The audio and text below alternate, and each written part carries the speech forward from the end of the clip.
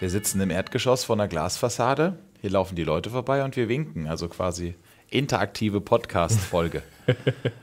Aber auch wenn Sie nicht direkt bei uns sind, dürfen wir Sie begrüßen heute zu unserer nächsten Folge von Verkehrt verhört, dem Podcast der RNV, der Rhein-Neckar Verkehr GmbH. Ja, wir können sagen, Marc Hendig, auch heute sind wir wieder mittendrin im Geschehen hier. Ja, ja. auf jeden Fall. Eins, äh, weil ich eben schon gesagt habe, dass wir nämlich äh, hier im Erdgeschoss in einem Konferenzraum sitzen vor einer Glasscheibe, wo draußen dauernd Kolleginnen und Kollegen vorbeilaufen, die uns dann winken und denen wir natürlich sehr freundlich zurückwinken, so wie wir sind. Aber auch, weil wir heute mal wieder über unseren Betrieb reden wollen und über das, was da so vor sich geht. Über einen ganz speziellen Ausbildungsberuf, den auch unser heutiger Gast absolviert hat, nämlich Marc Hendrik Hartmann. Schön, dass du da bist. Ja, danke. Ja, es geht um den Ausbildungsberuf Fachkraft im Fahrbetrieb. Das ist ein sehr vielseitiger Beruf, falls Sie heute zum ersten Mal dabei sind oder jetzt in dieser Staffel zum ersten Mal dabei sind. Diese Fachkraft im Fahrbetrieb, um die es geht, durchläuft quasi einmal die komplette RNV, ganz, ganz viele Abteilungen und hinterher kommen dabei Menschen heraus, die überall bei uns im Unternehmen eingesetzt werden können oder mindestens ganz, ganz, ganz viel wissen über das, was hier so passiert. Also den Betrieb richtig, richtig gut kennen. Bei dir habe ich da keinen Zweifel daran, Marc. Warum? Das werden wir später noch selber feststellen. Aber jetzt erzähl uns zunächst mal, wie lange bist du jetzt schon bei der RNV? Wir haben jetzt 2021. Wann bist du zur RNV gekommen? Ich äh, bin 2015 und zwar zum 1. September zur RNV gekommen, also sprich mittlerweile sechs Jahre. Ich kenne dich als jemand, beziehungsweise du bist heute jemand, der im jungen Alter schon so richtig für seine Arbeit brennt. Jetzt will ich mal von dir wissen, war das schon immer so? Also ist du, warst du auch einer dieser klassischen, ähm, versuche einen politisch korrekten Ausdruck zu benutzen. Ich sage mal Eisenbahnfreunde oder so. Ich nehme mich da, da selber nicht aus. Ich komme ja aus der gleichen Ecke, deswegen dürfen wir untereinander so reden. Das ist kein Problem. Ja. Äh, oder ist es tatsächlich so, dass du erst auf die RNV aufmerksam geworden bist als attraktiven Arbeitgeber und dann erst so deine Leidenschaft für die Materie gewachsen ist? Wie war das bei dir? Nee, die Leidenschaft war schon als junger Mann, junges Kind sogar, eigentlich sogar schon. Wir haben in Oggersheim am Bahnhof gewohnt. Meine Mutter ist öfters mit mir rübergelaufen oder so als Kind und dann äh, hat man das so, die, die Faszination Eisenbahn halt so kennengelernt. Und so hat sich das dann entwickelt. Dann hat man halt so in, die, in der Branche, sage ich mal, auch äh, Freunde gefunden und äh, die Leidenschaft die zum Leidenschaft. Beruf gemacht. Genau, richtig. So ist doch ja. schön. Ja, das ist, äh, glaube ich, was sehr, sehr Schönes, wenn man das sagen kann. Du hast deine Ausbildung auch sehr genossen, ja. gehe ich mal von aus. Auf jeden Fall, ja. Okay, was waren so die schönsten Momente für dich in deiner Ausbildung? Was, auf was hast du dich oder über was hast du dich am meisten gefreut dann? Ja, so der Straßenbahnführerschein. Das war so, als wir den gemacht haben, 2016. Das war dann so ein Meilenstein in der Ausbildung und äh, das hat richtig Spaß gemacht, ja. Ja, es hat auch immer wieder was Besonderes, so einen riesen Klotz zu bewegen. Ne? Und wenn da auch viele Menschen drin sind, für die man natürlich auch Verantwortung hat, das sagen viele, dass das ein besonderer Moment ist. Dann würde mich an der Stelle mal noch interessieren, gerade wenn du schon in der Materie drin warst oder wenn du ja über deinen zukünftigen Beruf, sagen wir mal, schon so viel wusstest, konnte die RNV dich denn noch mit irgendwas überraschen? Also wir haben ja schon gehört, die Fachkraft im Fahrbetrieb, man durchläuft auch Abteilungen wie ähm, Dienstplanung, wie Werkstatt, wie Einkauf. Also die komplette RNV von oben bis unten. Gab es noch irgendwelche Dinge, von denen du hinterher gedacht hast, hoppala, das hätte ich mir so, gar nicht vorgestellt oder das war doch ziemlich überraschend für mich? Ja, also diese ganzen Stellschrauben, was es eigentlich alles gibt, was man alles braucht, damit überhaupt, ich sag mal, um 8.03 Uhr jetzt ein Bus an der Haltestelle steht, was da eigentlich im Vorfeld alles nötig ist. Klar weiß man, okay, man braucht einen Fahrer, man braucht vielleicht auch eine Personaldisposition oder sowas, wenn man sich das ein bisschen überlegt. Aber was noch so alles dahinter steckt, das hat mich tatsächlich dann überrascht. So die ganzen Schrauben, die im Unternehmen zusammenarbeiten und dann äh, schlussendlich bewirken, dass um die Uhrzeit irgendwann ein Fahrzeug oder ein Bus morgens aus dem Betriebshof rollt. Ja. Mhm. Gab es irgendwas, was du dir ganz anders vorgestellt hättest, wie es am Ende dann tatsächlich läuft? Momentan fällt mir tatsächlich jetzt nichts ein. Okay, nee, kann ja sein. Nee, Manchmal hat man von so Dingen Vorstellungen und sagt dahinter, oh, dass das so läuft, hätte ich nie gedacht. Ja. Na gut, Überraschungen erlebt man jeden Tag, aber zumindest keine negativen jetzt in deinem Fall. Nee. Das heißt aber im Prinzip war ja die, diese Fachkraft im Fahrbetrieb Ausbildung für dich genau das Richtige. Also ja. besser hättest du unser Unternehmen ganzheitlich nicht kennenlernen können. Ne? Ja, richtig. Also das war der perfekte Ausbildungsberuf eigentlich. Ja, hat auch geklappt, Gott sei Dank, als ich mich hier beworben habe. Ja, und ich bereue es nicht, nee, auf jeden Fall nicht. Mhm. Vielleicht haben Sie jetzt schon gemerkt in den ersten paar Minuten, in denen wir jetzt hier schon gesprochen haben, Marc ist ein sehr, sehr guter Redner. Also du sprichst sehr frei und ja, selbstbewusst, stotterfrei, wie das nicht immer allen leicht fällt, okay. wenn sie vor dem Mikrofon sitzen. Ich kann Ihnen verraten an der Stelle, das hat einen besonderen Hintergrund, denn du bist es gewohnt, mit anderen Menschen über ein Mikrofon zu sprechen, ja. weil der Weg nach deiner Ausbildung hat dich zu uns in die Betriebsleitstelle geführt. Was heißt, dass du ganz oft zu unseren Kolleginnen und Kollegen auch über Funk sprechen musst. Insofern ist das nichts Besonderes mehr für dich, über so ein Mikrofon zu kommunizieren. War das für dich von Anfang an klar, dass du dann auch im operativen Geschäft was machen willst? Also war das dann auch dein Ziel? Oder warst du da ergebnisoffen sozusagen? Nee, gar nicht. Also mein, mein eigentliches Ziel war eigentlich, ich wollte fahren. Das war so mein, mit dieser Erwartung bin ich hierher. Gerade, hey, cool, wenn du dich bewirbst, du machst ja den Straßenbahnführerschein, den Busführerschein. Und das war so mein Ziel. Und dann war ich im ersten Ausbildungsjahr, war ich dann drei Wochen in der Leitstelle, in der Betriebszentrale und habe dann da gemerkt, das hat mich gecatcht. Das ist, macht mir Spaß, ja. Was genau? Ja, einfach diese, diese, diese Action, die man hat. Man ist wirklich am Geschehen mit, live mit dabei, man äh, agiert, man muss reagieren, man äh, entscheidet, man muss wissen, okay, wie fahre ich jetzt Umleitung? Was kann ich jetzt machen, wenn Störung A auftritt, wenn Störung B auftritt? Ja, das hat mich dann gecatcht, ja. Mhm. Und, und wie hat es dann danach letztendlich geklappt? Das war im zweiten Lehrjahr, hatte ich ein Gespräch mit, der, äh, mit den Kollegen von der Betriebszentrale, weil die auch gemerkt haben, so im ersten Lehrjahr, das hat mich interessiert und dann äh, war ich so mehr oder weniger im dritten Lehrjahr. Die größte Zeit davon, wenn ich Berufsschule war oder andere Abteilungen noch, war ich eigentlich dann in der Betriebszentrale mit eingesetzt und habe da quasi dann so die Ausbildung auf den Standorten schon mitgemacht für wow. und Ludwigshafen. Ja. Okay, jetzt müssen wir dazu sagen, das ist insofern was Besonderes, weil du bist Baujahr 97. 97, das heißt, du bist dieses Jahr jetzt 24 geworden. Das ist verdammt jung. Also nur mal so ähm, zum Hintergrund, nicht, dass du das nicht könntest oder nicht, dass du das jetzt in dem jungen Alter noch nicht könntest, aber normalerweise, deswegen fand ich das ein bisschen gewöhnungsbedürftig, ist es so, dass Menschen in die Betriebszentrale aufrücken, die eigentlich jahrzehntelange Erfahrung im Fahrdienst hinter sich haben. Ich sehe das irgendwo auch, muss ich ehrlich sagen, als Kompliment an dich, ja, dass man dir das zugetraut hat und dass du da schon fit für bist, das zu machen, dass du auch das Wissen dir schon angeeignet hast, ähm, das machen zu können. Fangen wir mal zunächst mit deiner Berufsbezeichnung an. Also ist das noch so, früher hat man gesagt Verkehrsmeister, mittlerweile ist die offizielle Stellenbeschreibung, glaube ich, Sachbearbeiter Betriebszentrale oder Betriebsleitstelle. Ist wieder Verkehrsmeister. Ist wieder, okay, sehr gut. Also du bist vom Beruf her Verkehrsmeister und Zugleiter, Fahrdienstleiter? Zugleiter. Zugleiter, genau. okay. Da kann man sich, wenn man nicht aus dem Fach ist, jetzt nicht viel drunter vorstellen. Beschreib uns mal ganz grob, was ist so dein täglicher Arbeitstag? Es unterteilt sich in zwei Arbeitsplätze, sage ich mal. Also ich habe äh, sowohl die Arbeitsplätze in der Leitstelle, die ich, also in der Betriebszentrale, wo ich äh, an den Arbeitsplätzen Mannheim, Ludwigshafen oder halt am Stellwerk bei Dürkheim arbeite. Oder draußen auf unserem Funkwagen, auf dem Einsatzfahrzeug. Ähm, und da bin ich quasi zuständig. Je nachdem, was halt anliegt im, äh, im Betrieb, ob das jetzt ähm, Veranstaltungen sind, jedes Anliegen, was draußen vom Fahrpersonal ist, ob der eine Störung hat, eine Fahrwegversperrung, äh, das sind halt so die häufigsten Sachen, die werden dann, kommen bei uns zusammen und wir müssen uns dann darum kümmern, dass zum Beispiel Ersatzverkehr kommt, dass der nächste Fahrer umgeleitet wird, dass der nicht auch in die Störung reinfährt und äh, als Funkwagenfahrer dann draußen vor Ort fahre ich dann an die Störungsstelle und schaue, dass wir da schnellstmöglich wieder weiterkommen. Quasi direkter Ansprechpartner für das Fahrpersonal für alle schwierigeren Anliegen, die die so haben? Ne? Ja, erstmal auch direkter Ansprechpartner, was also immer eigentlich, wenn es auf Probleme hinausläuft, ja. bist du immer mal der Erste, bei dem es landet. Richtig, genau. Das ist auch nicht immer das Angenehmste, aber wie du sagst, es hat ja auch was Spannendes. Okay, ähm, auf dem Funkwagen, also wenn du quasi in diesem silbernen Auto mit dem blauen Licht oben drauf durch die Gegend fährst, der verlängerte Arm der Betriebsleitstelle, ne? So kann man das auf jeden Fall sagen, genau, ja. richtig. Das Auge, weil die Kollegen oben, ich weiß ja dann selbst, wenn ich oben sitze, ja. man sieht nicht, wie sieht es draußen aus und äh, der Kollege, der dann draußen ist, der hat dann den betrieblichen Blick, sage ich mal, dafür, um zu wissen, okay, wenn wir jetzt da sind, was kann man machen? Passt vielleicht doch am Falschparker zum Beispiel vorbeizufahren oder sowas, wenn dann der Kollege sich nicht sicher ist, ob es vielleicht um ein paar Zentimeter nicht langt. Mhm. Und ja.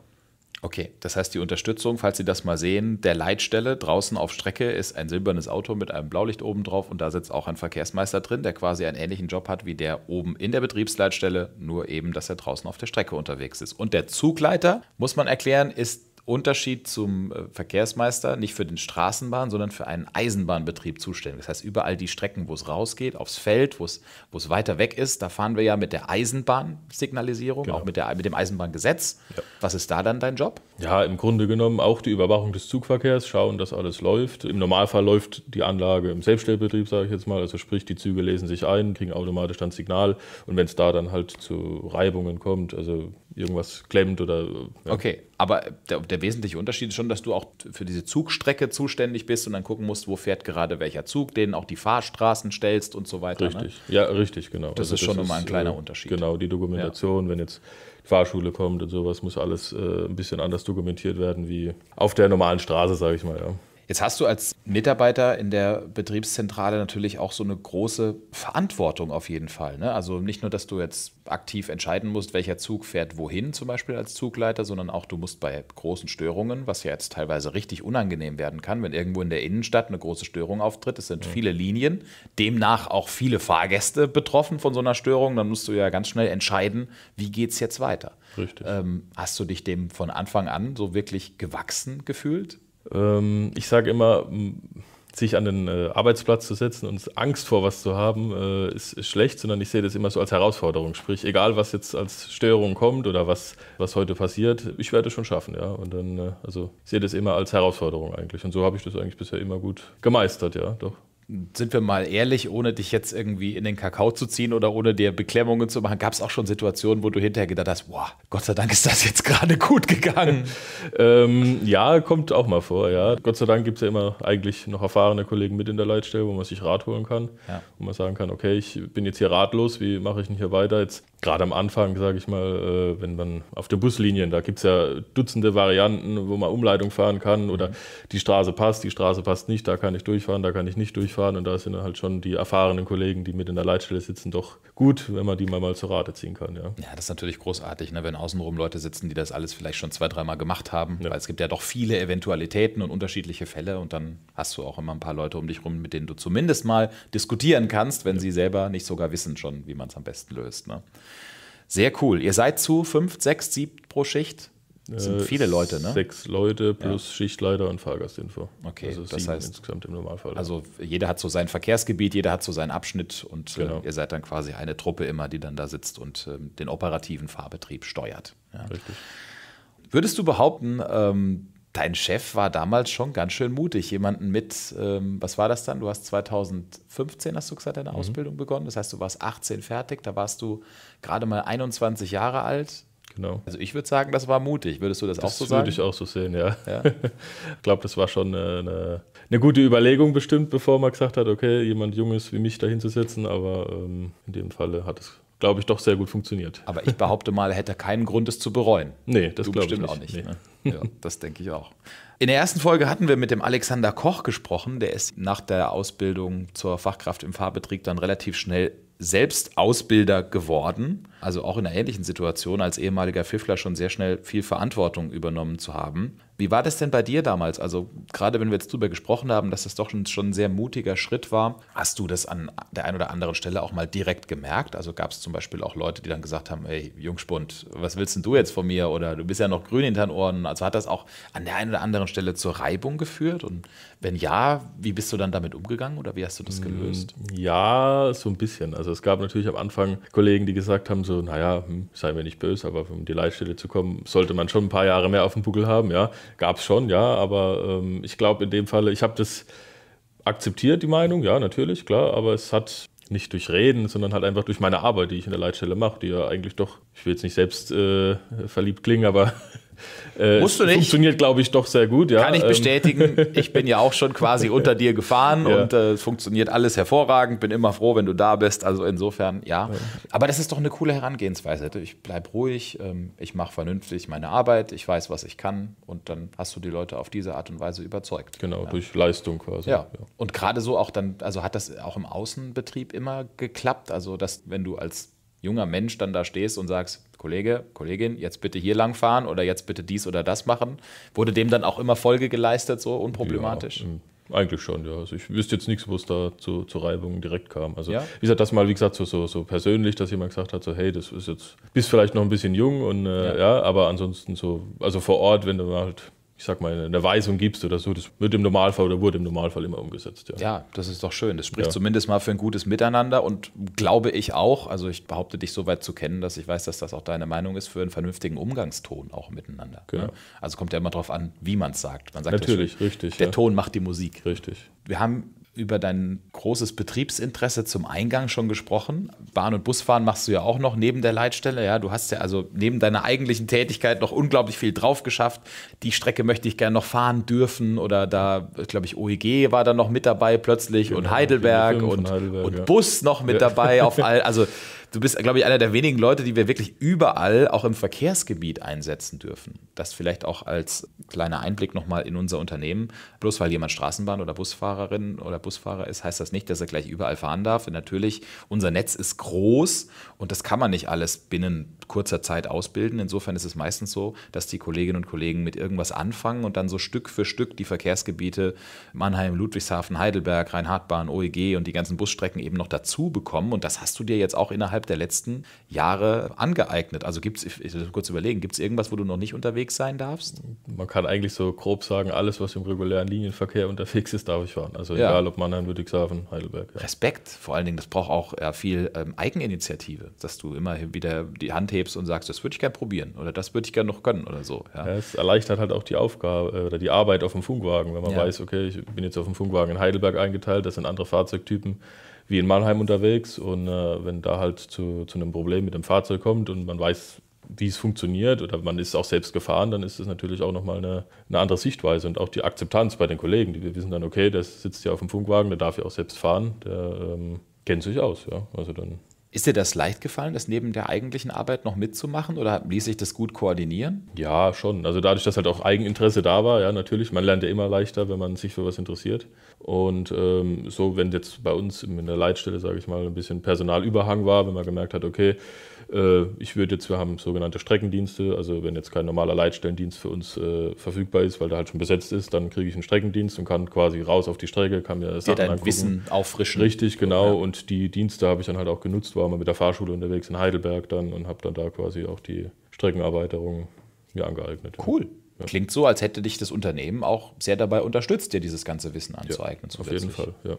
Gibt es in Zukunft Projekte, jetzt vielleicht gerade so in deiner Abteilung oder in der RNV allgemein, auf die du dich freust? Also, wo du jetzt schon drauf guckst und sagst, Mensch, ich kann es kaum erwarten, ein, zwei fielen mir spontan ein, die mich in deiner Situation freudig erwarten würden. Bin ich mal gespannt, ob, äh, ob also, du das Gleiche äh, sagst. Ein, ein, Thema ist neue Betriebszentrale. Da habe ich das aber auch einen genau, Punkt. Genau, richtig. Also in den nächsten, also jetzt nicht in den nächsten zwei Jahren, aber auf den nächsten zehn Jahre gesehen, glaube ich, ist eine neue Betriebszentrale geplant. Da freue ich mich schon drauf. Bin gespannt, wie das Ganze umgesetzt werden wird, wie das dann für uns aussieht als Verkehrsmeister. Und das ist so ein Thema, wo ich sage, okay, cool, da freue ich mich drauf. Ja. Mhm. Neue Fahrzeuge vielleicht auch? Das ja, war so, was mir noch so im Kopf umgegangen ist. ja, das ist. auch, wenn man so, ja. Gerade jemand, der viel fährt und gerne fährt, der freut sich natürlich auch dann, wenn neue Fahrzeuge endlich kommen. Genau, ja. Elektrobusse? Ähm, Für dich ein spannendes Thema, auch als Busfahrer so mal gesehen? Ja, natürlich. Was, äh, Wasserstoffbusse. Wasserstoffbusse ja. wollte ich gerade ansprechen, genau. Das ist ja auch ein Thema, was jetzt äh, demnächst auf uns zukommt. Da bin ich auch sehr gespannt. Also, ähm, zu, da muss ich die Aussage von vorne korrigieren, weil Elektrobusse darf ich tatsächlich noch nicht fahren. Ah, da, oh, wir haben was gefunden, Marc Hendrik. Wir haben was gefunden. Jawohl, Habe ich äh, noch keine Einweisung gemacht. Hat sich noch nicht ergeben. Ja, okay, aber hey, was nicht ist, kann ja noch werden. Wenn Richtig. einer das Beispiel ist dafür, dann du.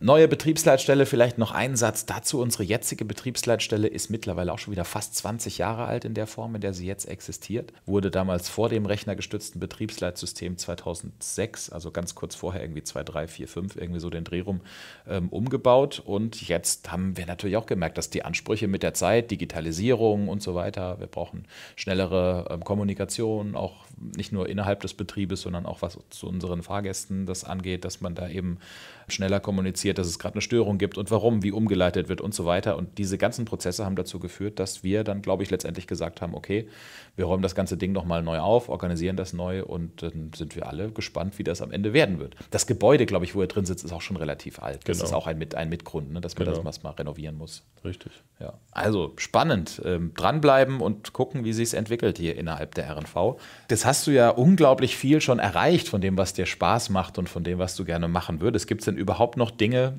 im Unternehmen, die du anpeilst oder hast du im Prinzip deinen Traumjob schon gefunden und so bleibt es dann auch die nächsten Jahrzehnte? Ja, also bisher habe ich noch keine neue Planung. Also das so wie es jetzt ist, kann es bleiben und macht mir Spaß. Ja. Also wie du sagst, meinen Traumjob habe ich und äh, den möchte ich auch nicht hergeben. Sehr schön. Ja, da wollen wir hoffen, dass das auch so bleibt. Hey, ist auch mal schön zu hören, finde ich, dass jemand einfach so zufrieden ist mit dem, was er hat. Also ich klar, ich glaube schon, dass wenn jetzt irgendwo noch was Neues käme, dass du natürlich dann offen dem gegenüber bist und auch immer deinen Platz finden wirst. So, aber fürs Erste, wenn du zufrieden bist, ist doch wunderschön. Perfekt. Ja.